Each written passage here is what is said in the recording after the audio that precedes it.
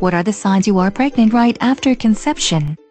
You have that nagging feeling you should have used contraception. Technically, the sperm is still swimming to meet the egg at that point. Your morning after hangover lasts a couple weeks. That would be morning sickness. But I did not think it started right after conception. The nausea and food aversions often start as soon as the embryo implants and starts generating hormone. I've heard of food aversions during pregnancy. You get women who get sick at the sight of meat. If you go out for a steak dinner a week after your last date and the gourmet meal is suddenly nausea-inducing, you might be pregnant. Or they used expired meat. Pregnancy can heighten sensitivity to smell before food aversions kick in. So if you know that someone put a spoonful of cinnamon in the chili, or a coworker had tuna fish sandwiches for lunch two hours ago, you might be pregnant. Or hypersensitive.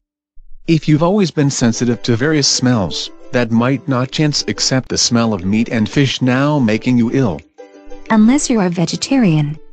But if your newfound super sense of smell kicks in, a baby may be to blame. I hope that goes away before I have the baby. It usually goes away in the second trimester of pregnancy. For some unfortunate women, though, the nausea lasts all nine months. So if I have a stomach bug that won't go away, I might be pregnant. Yes, and if it is really bad, you are statistically more likely to have a girl. If I were a vegetarian, I'd be more likely to have a girl too. The surest sign you are pregnant right after conception is an early pregnancy test. Do it too early, and you'll get false negatives.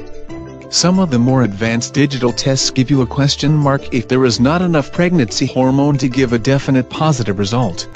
The last thing I thought anyone could do is flunk a pregnancy test. There's a reason they sell early pregnancy tests in bulk. That's in sets of 3 and 5.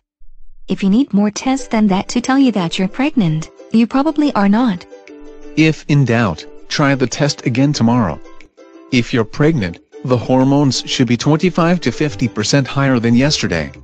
And if I wait long enough, I'll have a sure answer due to a delayed period.